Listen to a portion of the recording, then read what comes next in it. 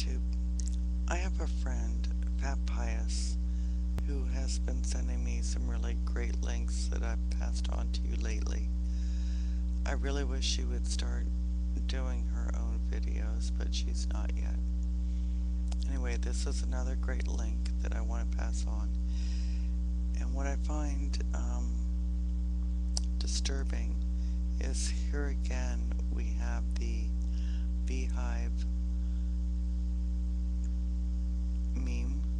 For lack of a better word. And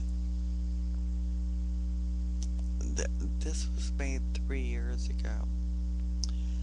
I really wonder about all this nanotech.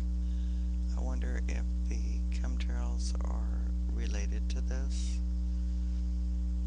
Anyway, I think it's another good video worth watching.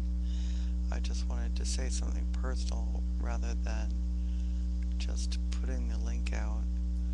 Um, I think it's quite horrifying. And I wonder, we as folks on YouTube are probably feeding this and you know how do you fight it if you unplug you're disconnected and if you stay connected you're feeding the beast. So I'd really like to hear everybody's thoughts on this. Um,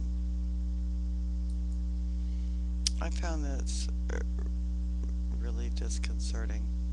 So I really would love to hear your thoughts. Take good care folks